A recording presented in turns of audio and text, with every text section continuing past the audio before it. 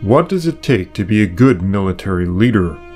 When everything is on the line, it is often charisma, tactical sagacity, tenacity, timing, and a heap of cunning that mark one out. At times, it can come down to the simple refusal to quit when all others around have raised the white flag. In the history of Britain, there have been many such men. Among them, Caratacus stands, glimmering like a distant star from near the beginning of recorded British history.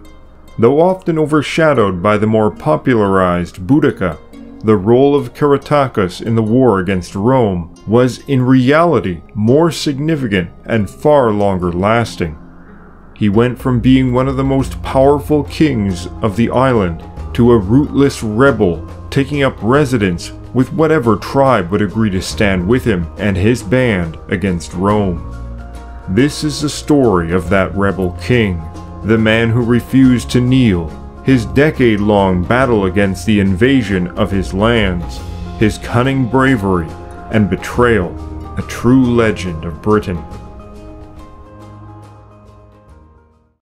Hi friends, I'm Kevin McLean. Don't forget to like, subscribe, and consider supporting the channel through Patreon or PayPal.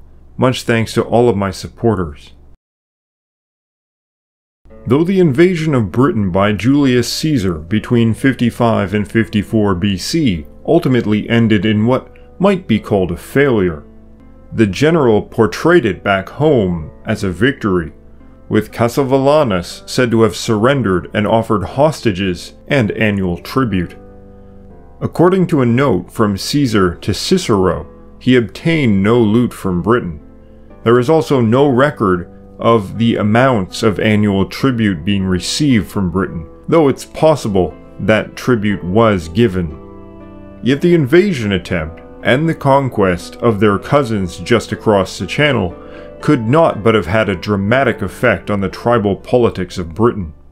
The main figure who had led the fight against Caesar, Cassivellaunus, made a dramatic impact on the British consciousness, so much so that his name survived into medieval Welsh legends. In some, he was the son of a god, or equated to a god. In the triads of Britain, he is said to have been one of the three golden shoemakers. He strove against Caesar for the love of Fflur, and snuck into Rome disguised as a shoemaker. Lleu and Gwydion, Welsh gods, are also some of the three golden shoemakers, and they also disguise themselves as shoemakers. Lleu's wife is Blodeuwedd, meaning flower face. There would appear to be a complete overlap of themes, According to Welsh genealogical text, Tasciovanus became king of the Catuvellauni tribe. While the specifics are not certain, Tasciovanus was a real king that ruled after Cassivellaunus, as he minted several different coins bearing his name, and may have expanded Catuvellauni power over former regions of the Trinovantes, most importantly, Camulodunum. He was succeeded by another famous king who enters early British history, Cunobelin, one of several of his sons, and it was Cunobelin who was father of Caratacus. The historian Suetonius, writing nearly a hundred years later, called Cunobelin the king of the Britons. This was an exaggeration, at least in part for he had only direct rule over southeastern Britain, in the region of the Catuvellauni and the Trinovantes. He does, however, appear to have been the most powerful king known in Britain at that time, and it's possible that he held some type of sacerdotal leadership over the other tribes, at least in southern Britain. Much like the office of the High King in Ireland, while the High King might not have controlled the entire territory, he was nonetheless seen as a symbolic sovereign, with a religious as well as political role. In contrast to what was soon to come, Cunobeline had good relations with Rome. There was increased trade with the empire, and some of his coins included Roman motifs, Roman depictions of gods, and even Roman titles like Rex, meaning king. Some have suggested he was a client king of Rome. It is possible, but if so, this relationship was not to last. Cunobeline had three sons, Togodumnus, Adminius, and Caratacus. Tacitus implies that there may have been other sons that we do not know from our sources. Cunobeline also had a brother, Epaticus, who was an accomplished warrior who won control over the Atrebatian capital of Caleva, roughly modern-day Silchester. It was Caratacus who rose up to take over his uncle's role. While we do not know much about the early lives of these three brothers, we might venture some guesses. That Cunobeline was seen as a client king of Rome seems supported by Roman sources and some of his coins. Yet from an early age his sons are given important political positions. Caratacus and Togodumnus may have been responsible for the flight of their brother, and it may be that the friendly relations with Rome were a front to a larger ambition on the part of Cunobeline, to buy time in order to expand their power, in order to resist direct Roman control they likely saw on the horizon.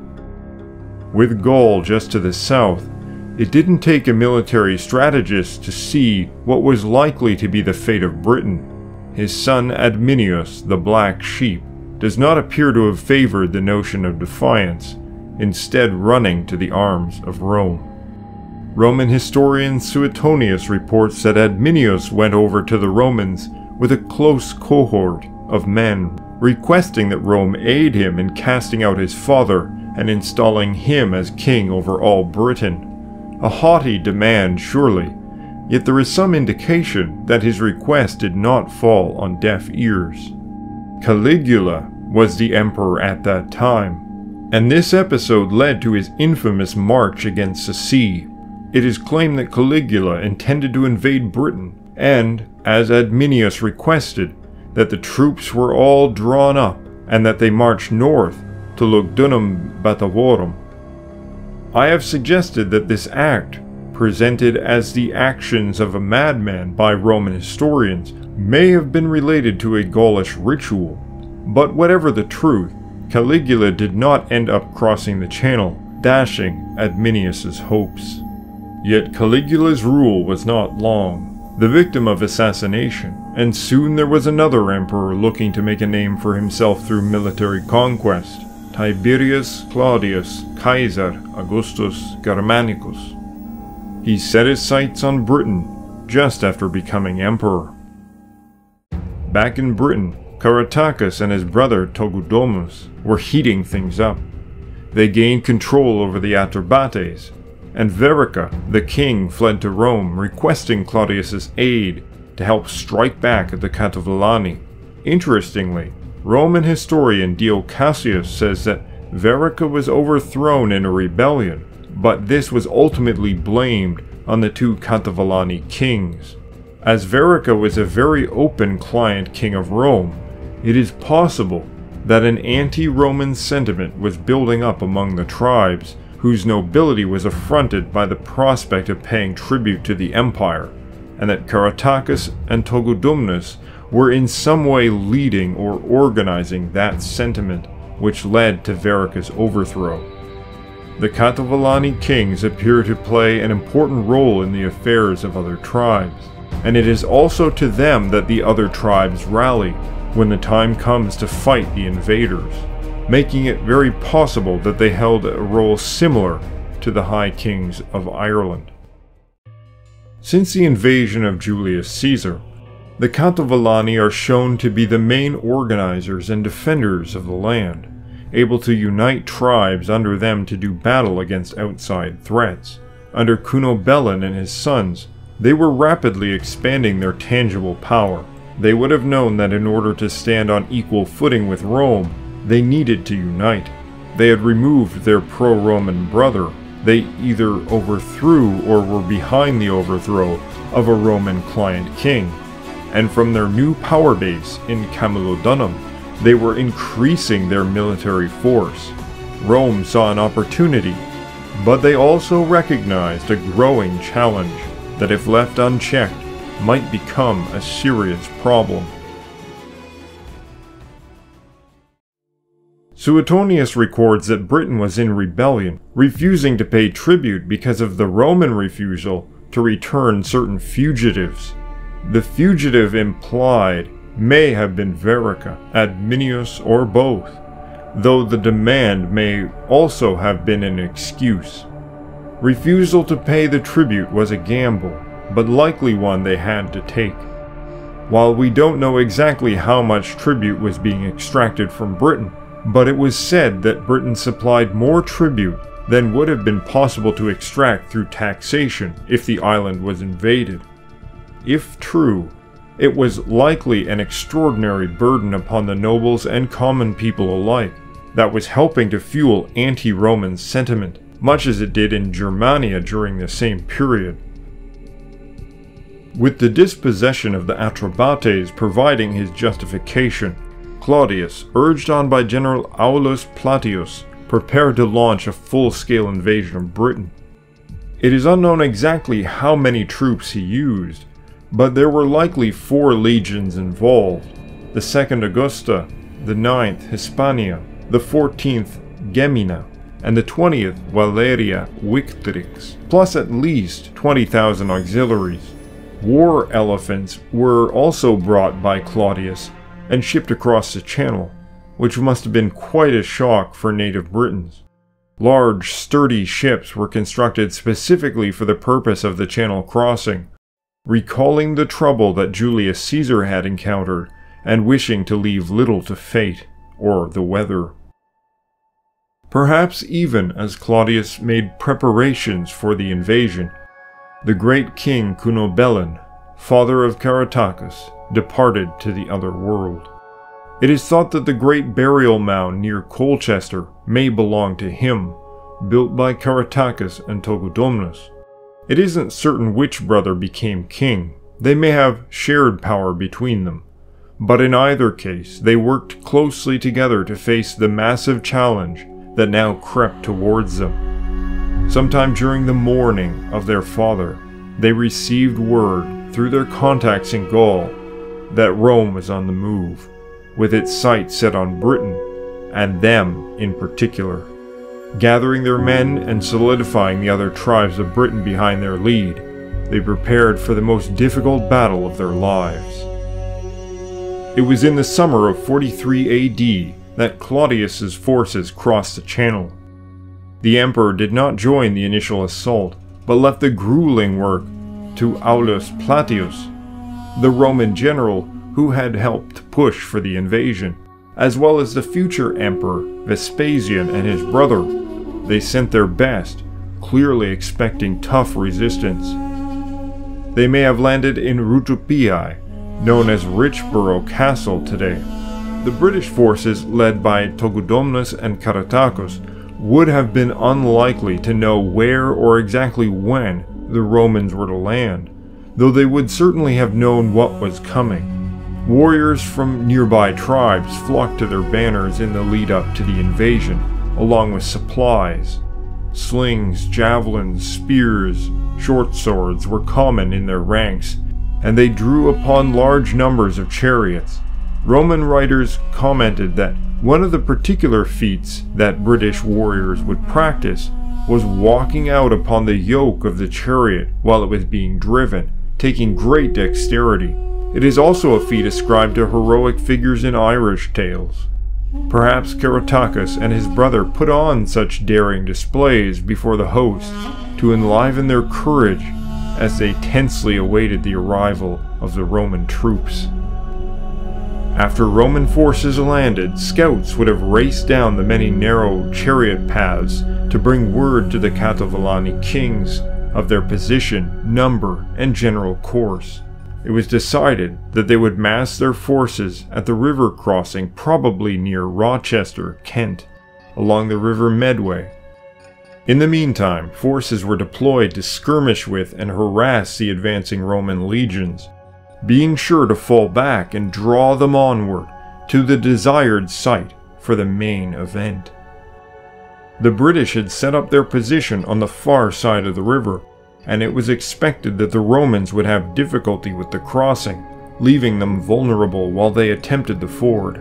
They hadn't counted on crack Celtic troops able to swim the river, even in their full armor. The Celts crossed, surprising the British forces, and they set about attacking the chariot force, causing disarray which gave the rest of the Roman troops time to attempt the ford. Yet the forces under Caratacus and Togodumnus were able to check the Romans for the entire day, holding them in a stalemate. The second day saw bitter fighting on both sides, with British forces nearly overrunning and capturing Gnaeus Hosidius Geta, a Roman senator and general.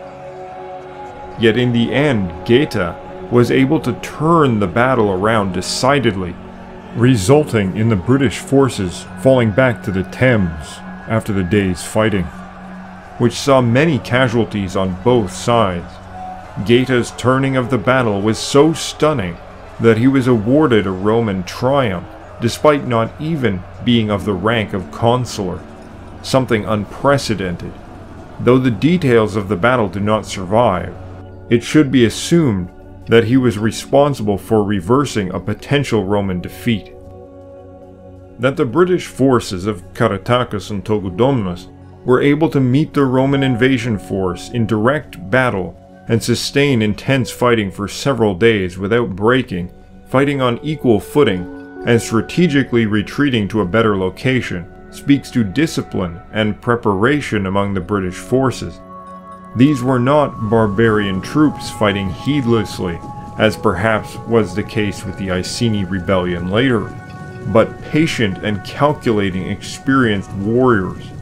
Both places of battle were well chosen by the Catuvellauni kings, and the edge which the Romans held in the contest appears to have been not their superior tactics, but their armor.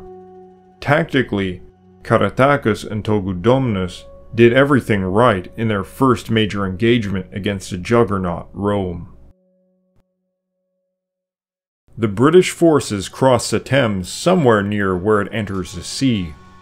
The battle at this site was not well recorded, but it appears that the Britons attempted to hold the far side of the river as they did previously, assailing those who came across. The Romans became bogged down here and lost many men in their attempt to cross the river. And there was vicious fighting at the ford. Yet here again the Roman Celtic auxiliary troops proved pivotal to Roman success. One group fords the river easily in their armor, swimming across, while another group quickly traveled to the west where a small bridge was located. Togodumnus and Caratacus, busy holding down the Roman legions, then found themselves beset by Celts on all sides. At some point in the battle, Togodumnus is hit. Perhaps it was a javelin cast as he ordered his men to retreat. Maybe a sword thrust as he dueled one of the Celts who had encircled them. Whatever it was, he was injured, badly. Overrun by Celts, the British retreated to the safety of the swamps, and as the Celtic forces tried to pursue them, they found that the swamp was something far different than the river ford. The local British knew the trackways through it, but those who eagerly pursued them soon found themselves the ones who were hunted. Many Roman Celts never found their way out of that swamp.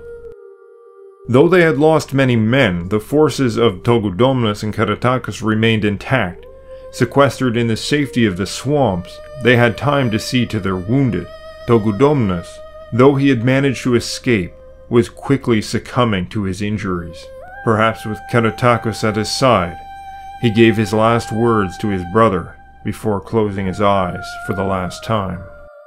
With his brother gone, the fate of his people and Britain lay heavily upon him. Yet it was a weight he bore without kneeling, though the situation now looked bleak. Together with his closest comrades, he planned what their next move was to be. They may have headed back to Camulodunum at this point, though the sources are not clear. General Plautius held his troops back at the Thames, feeling cautious after their close calls and the losses at the river crossings and in the swamps. He waited for the reinforcements that were coming along with Emperor Claudius.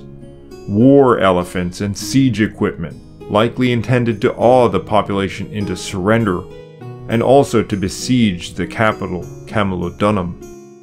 Back in the Catuvellauni stronghold, there was likely some very hard conversations taking place.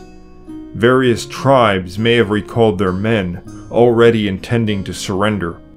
The Iceni to the north if they ever lent troops, were now vowing to be loyal Roman allies. Yet Caratacus would not hear it. With passion and indignation, he stirred the people once more to resist.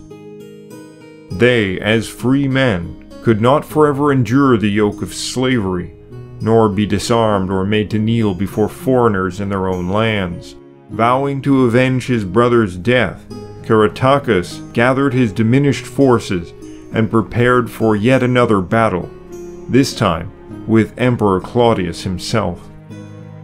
Some historians believe the battle never took place, but Cassius Dio says that when Emperor Claudius arrived with his reinforcements, including war elephants, the enemy had amassed again on the far side of the river.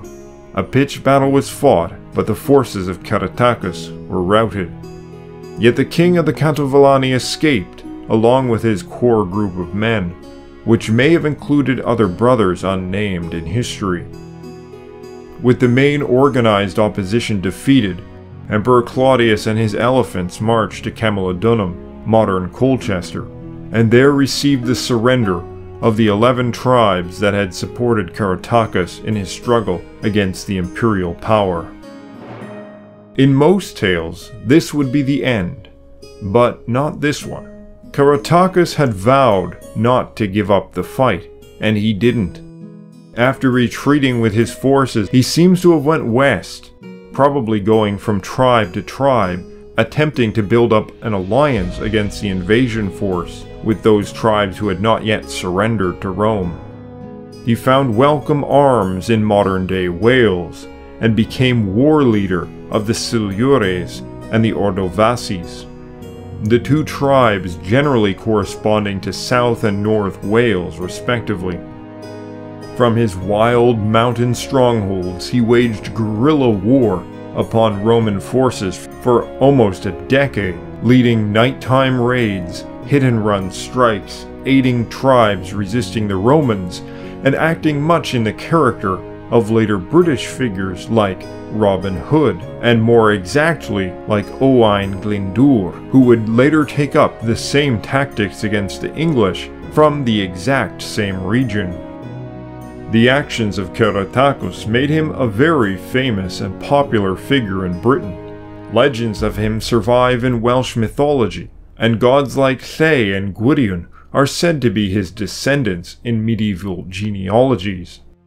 Geoffrey of Monmouth called him Arviragus, son of Cymbellinus, and he appears in Shakespeare as well, where an interesting mythological tale is spun about him that seems to take elements from earlier pagan myths. He and his brother Guiderius were kidnapped by Belarius, an enemy of his father, but were trained by him and treated as his sons.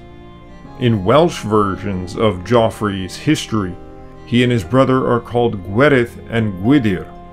Finally, he is also represented as Caradog, son of Bran, Bran being Bendigeidfran, legendary king of Britain and a god. Caradog is the Middle Welsh rendition of the name Caratacus. But Caratacus was not only making a name for himself at home. His fame was reportedly spreading widely as a heroic and unrelenting warrior who used his daring and cunning to outwit a much more powerful foe, and one who refused to be captured or surrender. Tacitus says that even in Rome, he was celebrated as a hero, despite being one of their most enduring enemies. Caratacus must have been quite a character to inspire such feelings even in Rome. In 50 AD, somewhere in the mountains of North Wales, in the lands of the Ordovices, Caratacus arranged to fight a decisive battle against the Roman general Scapula. In his ranks were men from various tribes who wished to resist the might of Rome and had flocked to his banner of defiance. He had chosen a well fortified position, as he always did, and Tacitus says that he flew hither and thither, protesting that that day and that battle would be the beginning of the recovery of their freedom, or of everlasting bondage. He appealed by name to their forefathers who had driven back the dictator Caesar, by whose valor they were free from the Roman axe and tribute, and still preserved the persons of their wives and their children. While he was thus speaking, the host shouted applause. Every warrior bound himself by his national oath not to shrink from weapons or wounds. The location of the battle is disputed, but though Caratacus had carefully picked a fortified location to gain every tactical advantage, his forces were defeated. As before, the defeat seems less to do with bad tactics or even training or discipline of the troops, and more to do with a lack of equipment. Even Tacitus makes reference to this saying, quote, As long as it was a fight with missiles, the wounds and the slaughter fell chiefly on our soldiers. But when we had formed the military testudo, and the rude, ill-compacted fence of stones was torn down, and it was an equal hand-to-hand engagement, the barbarians retreated to the heights. Yet even there, both light and heavy-armed soldiers rushed to attack. The first harassed the foe with missiles, while the latter closed with them, and the opposing ranks of the Britons were broken, destitute as they were of the defense of breastplates or helmets. Tacitus says the Britons fought better than the Roman forces at a distance, but when the Romans were able to close on them, the lack of armor of the British forces proved their primary weakness and ultimately the reason for their defeat. Yet despite this loss and the capture of his wife, daughter, and unnamed brothers, Caratacus of the many wiles manages to slip through the fingers of Rome yet again, escaping into the wilds. He fled north, entering the lands of the Brigantes, they were nominal allies of Rome, but a great number of the people were rebel sympathizers, including the former husband of Queen Cartimandua, Venutius. Caratacus sought to recruit troops, or at least obtain sanctuary. Instead, Cartimandua had her soldiers seize him and throw him in chains. In exchange for wealth and the increased support of Rome, Queen Cartimandua handed Caratacus over to the Romans. After this act of treachery, she never again held the respect of her people. Two rebellions were staged against her, led by her ex-husband Venutius. In the first, she maintained power only through the direct military intervention of Roman troops and auxiliaries. The second time, she was not so fortunate, escaping to Roman-held territories, but never again returning to the lands of the Brigantes. One of the reasons cited for her overthrow was her treachery against Caratacus. With the rebel king finally captured, Claudius held a great spectacle in Rome, with the main exhibit being Caratacus, his wife, daughter, and brothers. Tacitus says, Nine years after the beginning of the war in Britain, his fame had spread thence, and traveled to the neighboring islands and provinces, and was actually celebrated in Italy. All were eager to see the great man who, for so many years, had defied our power. Even at Rome, the name of Caratacus was no obscure one. It was an amazing feat for a man to gain such fame across such a wide area of Europe in under a decade, with many years of that time spent fighting from the mountains of Wales. His many deeds from the time of his defeat upon the ford and the death of his brother Togodumnus were likely seen as heroic and romantic, and in Welsh myth he appears to have been transformed into an almost divine figure. That he was even thought of as a folk hero in Italy speaks to just how significant a figure he must have been, and the number of word of mouth tales that were spreading about him, presenting him likely as a type of Robin Hood. This favor that Caratacus had in Rome was not confined only to the plebeians, however, for a strange, almost unheard of thing happened when Caratacus was brought before Emperor Claudius and situated before the tribunal. While all the others bent down in submission, Caratacus refused to kneel. Instead, standing defiantly, without a trace of humbleness, according to Tacitus, he said, Had my moderation in prosperity been equal to my noble birth and fortune, I should have entered this city as your friend rather than as your captive, and you would not have disdained to receive, under a treaty of peace, a king descended from illustrious ancestors and ruling many nations. My present lot is as glorious to you as it is degrading to myself. I had men and horses, arms and wealth. What wonder if I parted with them reluctantly?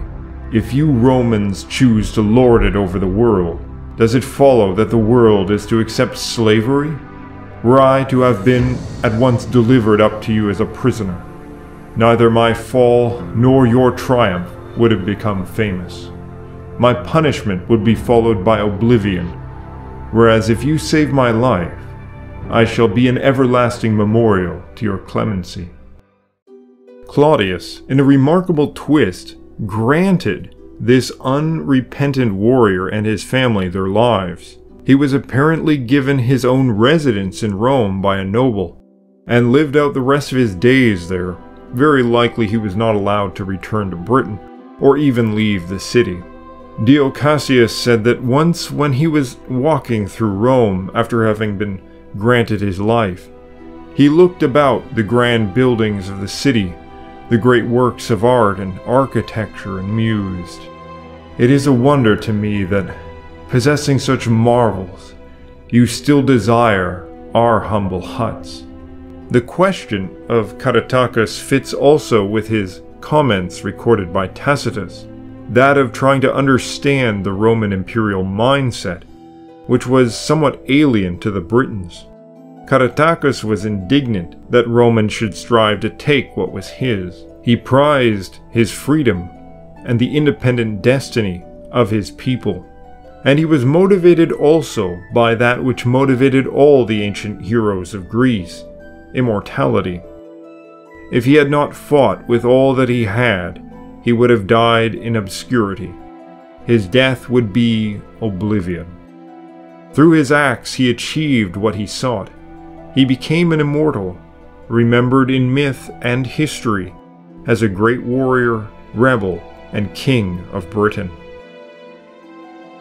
I hope you liked the video, and if you did, please like, subscribe, and consider supporting me on Patreon or PayPal. Again, much thanks to all of my wonderful supporters. And as always, stand tall.